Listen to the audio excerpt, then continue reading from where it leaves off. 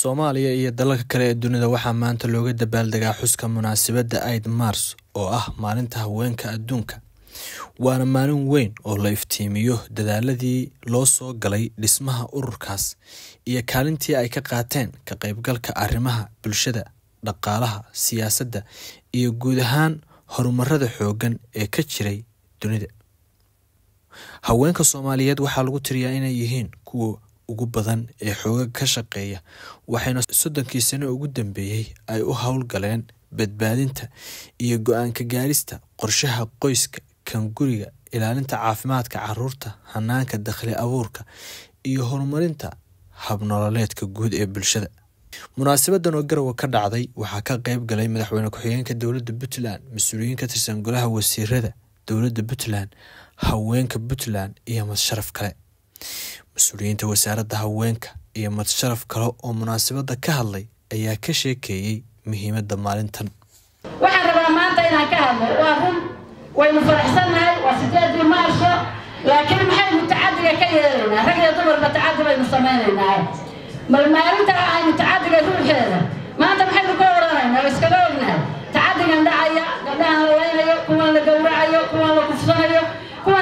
hadda la sheegaya maxaanku hadda u dambaysay arrintaa maxaynu ka yeelaynaa haween weyno haweenkaan la hadlayaa. Maxaynu ka odhanaynaa? Madaxdana waxaan leenahay dee iyaga waajib baa ka saaran waxay la tahay hadday soo qabteen oo xidheen. Inay maxaan kuu sheegaa arrintaasna hoos loogu dhaadho. Waxaan ognahay haweenka adduunka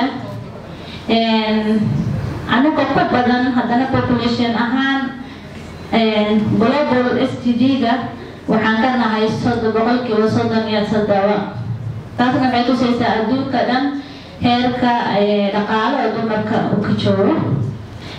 Soomaaliya haddaan fiirinana khaasatan daruufooyin badanaa nagu heeran dumarka soomaaliyeedna aada ugu dhaqaal ahaan dhinacaas uga liyo uga liitaan ayagoo aada u dadaalayaano qoyska soomaaliyeedba inta badan oo boqolkiiba sideetan oo ku tiirsan yahay hooyooyinka soomaaliyeed oo ganacsiga yaryar ee butulyooyinka lagu ililaalinaya oo intaas oo faqriga lagu ililaalino wax la cuno lagu helo ka shaqeeyaan oo haweenka soomaaliyeed maadaama aanu tali wasaaradda haweenka soomaaliya ahay oo ugu muhiimsan kow horta waxaan ka bilaabayaa dhaqaalaha haweenka soomaaliyeed in haweenka soomaaliyeed la kordhiyo dhaqaalahooda kor loo soo qaado loo sameeyo haweenka soomaaliyeed shaqo abuur maadaama ay culayska badan iyaga ku dhacdo.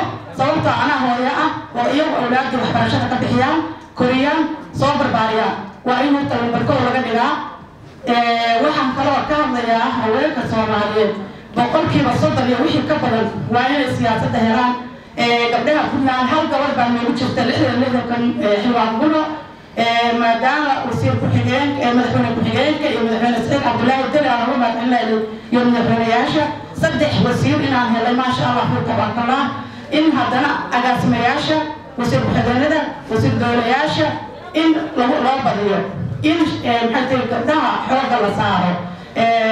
Waxaan bogaadinayaa u bogaadinayaa dowladda puntland maadaama iyadu dimuqraadiyadda ay bilowday haddana waxaan leeyahay siciid cabdulaahi deni iyo doctor lagotor madaxweyne ku-xigeenka oo ah aabbayaashii dimuqraadiyadda.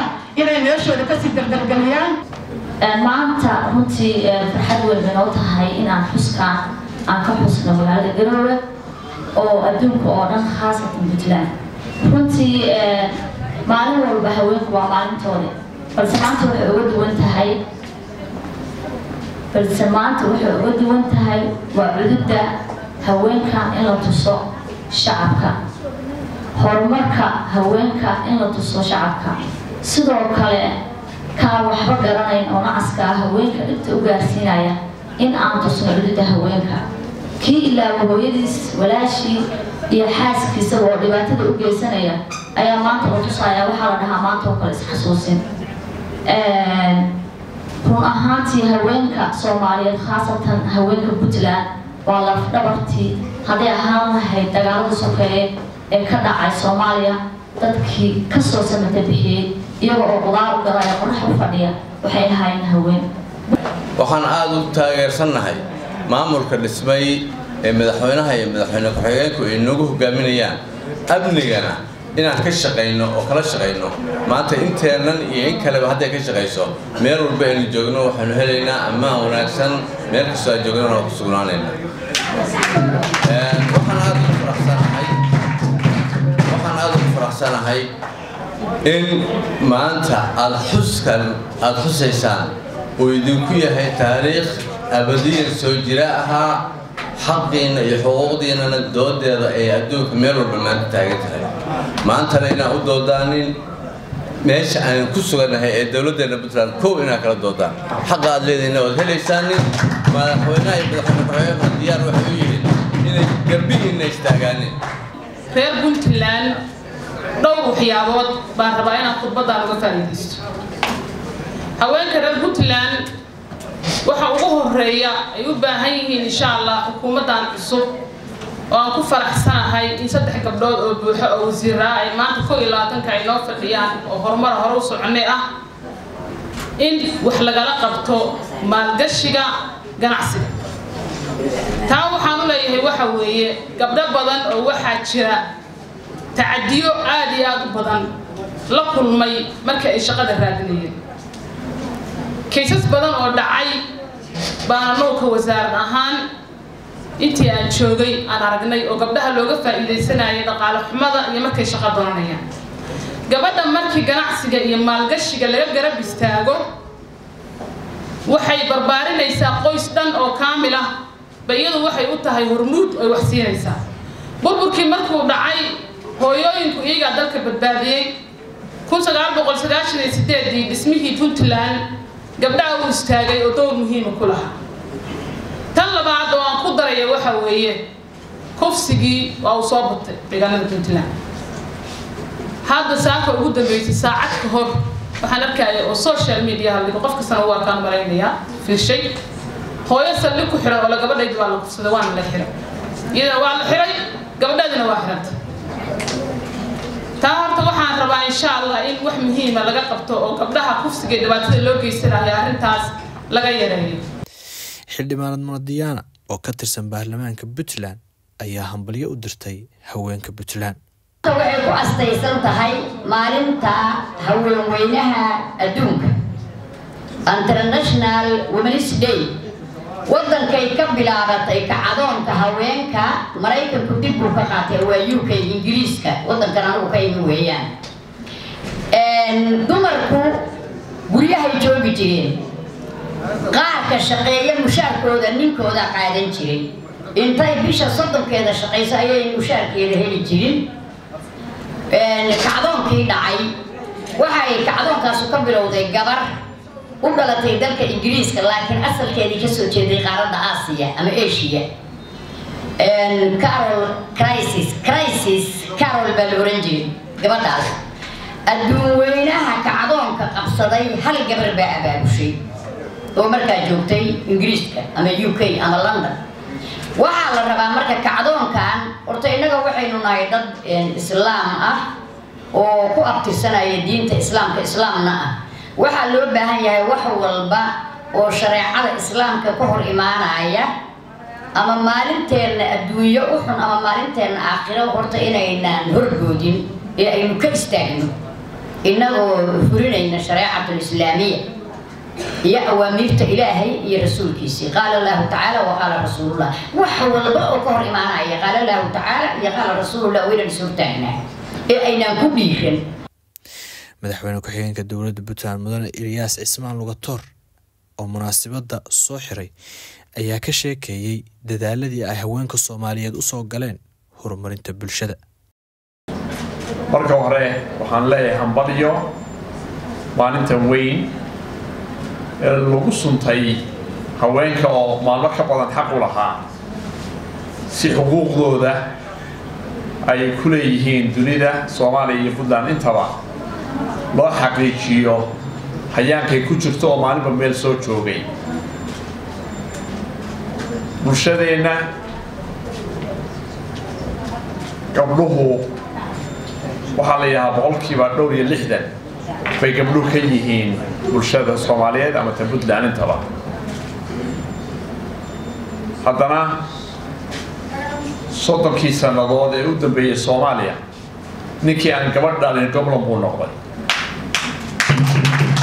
Waagii hore wiil dhalaa aan dhalin goblan weeye waxaa ummadda soomaaliyeed meelay joogto oo ku baxsatay haweenka ama gabdhaha bulshadeennuna maanta waxay ku taagan tahay doorkooda. Dhaqaale talo shaqo qoys.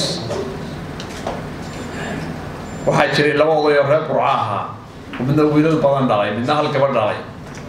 Odaygii halka gabadh dhalay gabadhiiba aad ku baray oo hagaajiyey oo kii kalena wiilashiibu intii leeg maaragtay ku dadaalay. Laba oday oo saaxiibana waa ahaayeen kii halka gabadh dhalay markay wax baratay meelaha dunida noloshu ka jirtay tagtayo odaygii bay aada u koolkoolisay oo aada u daryeeshay kii wiilasha badan dhalayna wiilashii wax wax ku soo celiyo waa waaye maalintii dambey kaftameen wuxuu waagi hore waxaan islahaa war ninkan saaxiibkaahi waa gobla oo ilaahay wiilal ma siin adigana wiilal badan baa alla ku siiyey. War saaxiibo wiilashii gabadha bay kaga bedelanaysaa. Marka horta gabdhaha halkaas ay joogaan runtii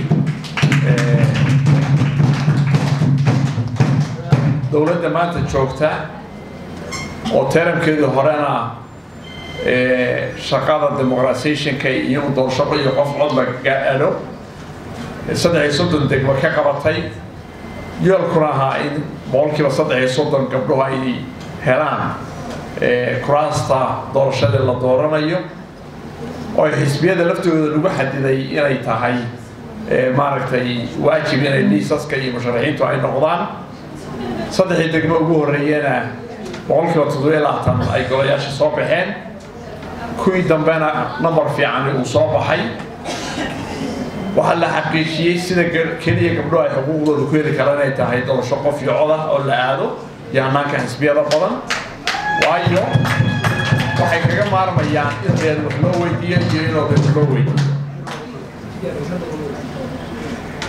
waxaa dowlad ahaan aanu ballan qaadaynaa oo siyaasadda yada ah inaanu hanaankii qof iyo cod halkiisii ka sii wadno afarta degme dhimanna dhammaystirno xilligay ku habboonaato haddii aan la qadaro. Waxaad xuquuqda haweenka inaanu door weyn siino aad ka akhrisanaysaan koob iyo labaatankii wasiiraanu magacawnay saddex.